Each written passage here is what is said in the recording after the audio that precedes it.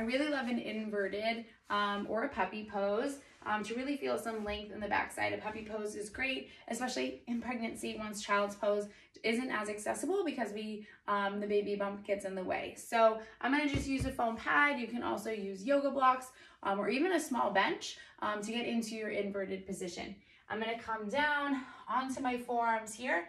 The biggest thing here is sometimes people kind of arch and lose um, kind of that nice stacked position when they come into the inverted. So you want to tune in to where your ribs are in space as you come down on your forearms, okay?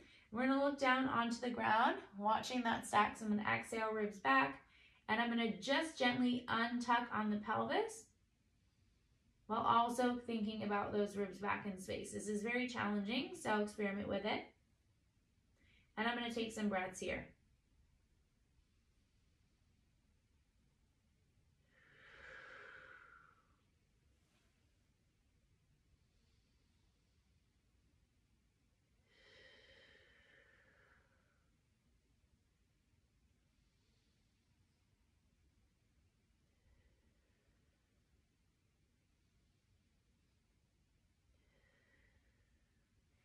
Need to take a break, readjust, and get back into the position.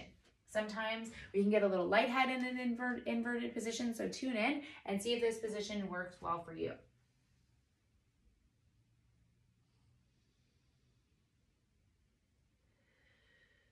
And then play around with it too. So if I tuck my bum and I try and breathe down, I really kind of hit some resistance or a wall. So I'm gonna untuck just a little bit, think about my ribs back in space,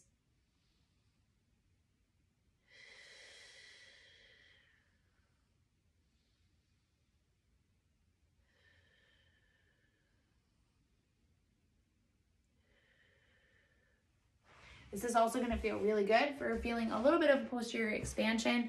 Um, so as you breathe, you can kind of feel about breathing into the shoulder blades